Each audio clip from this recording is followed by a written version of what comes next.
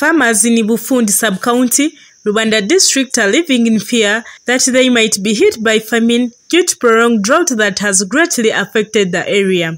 This comes after when the area was hit by heavy rains in the month of May 2023 that left most of the gardens washed away and since then the dry season started up to date. This is the first of its kind for Rubanda district and Kigezi at large to undergo a prolonged drought.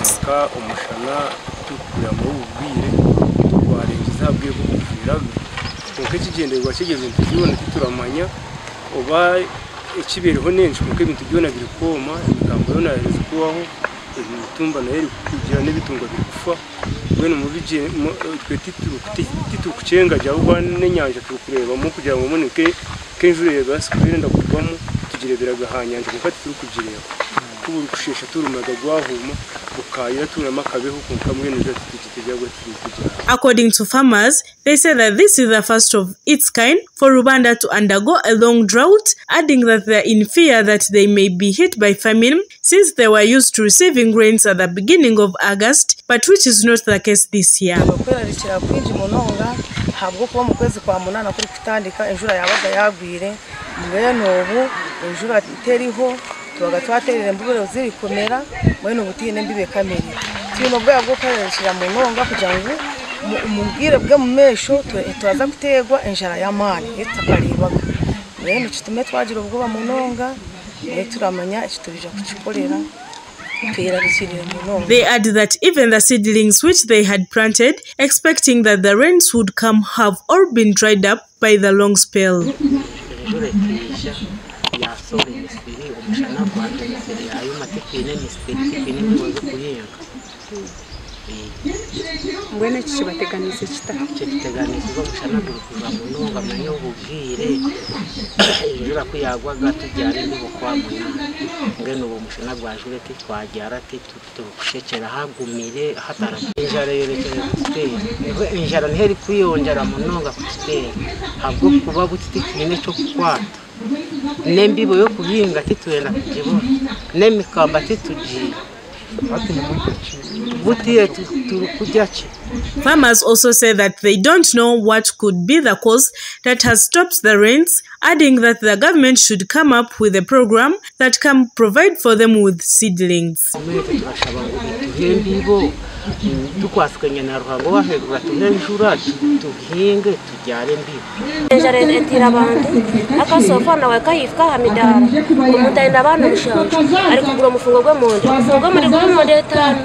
Aze monde buri buri monde sinji bibiri aze muri inji kundi sinji nkumi itanu neno kakwe umufungo gw'emonde oyine abana batanu habwo umushana umushana gwawe gutari kuja tubiri tuhinjira emboga okutesha abana tubogo kasaka hunga kasobora bwo mukoma abana bakata gavumenti twebwe turagisha ubuyambi kugira ngo ubundi buhagire atuteraho mazima nkitwe nk'abacara turi kutegana munonga kandi mwene twa- eh, gavumenti yarabira ko mu bacara kiratuyamba munonga habwo kuba nk'abashija binji babona kakasete bakatwara nk'akabara baze kwinywera akashe nkakatwe ubujunanizi bwa bwo kureberera abana Akampure Prosimbabas, woman member of Parliament Rubanda district, said that the issue of drought is not only in Rubanda, however, this is the first of its kind. She adds that the drought comes after when the area was hit by heavy rains, which caused a lot of challenges, adding that now it's the drought which may affect the farmers. Akampurira further says that as a leader, she will continue to educate farmers on better methods of farming depending on climate change. The issue of drought, I think, is not only here, but in Rubanda, it has, it is so strong. It is so strong. I think we had never experienced this, and we have experienced this after experiencing the heavy rains. You know, we are at a time where things are not easy. When we experienced the heavy rains, that brought a lot of challenges, and now we are experiencing the drought. The too much sunshine that is hot. I had not seen this in Rubanda before. But uh, as a woman member of parliament, I continue to educate my women that we have to get another way of doing farming. And that's what government is emphasizing. And we can only teach these women because you see, for me in, in my district, some of this knowledge they don't have.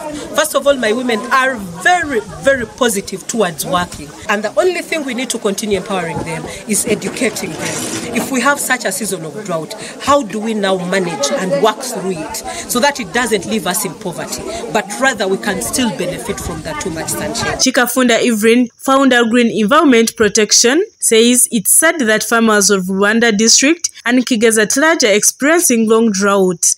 She attributes it to the problems of environmental degradation that includes swamps being reclaimed, deforestation, and plastic pollution, adding that this is an indication that people don't mind about the environment. People from Kigezi are experiencing, you know, climate change.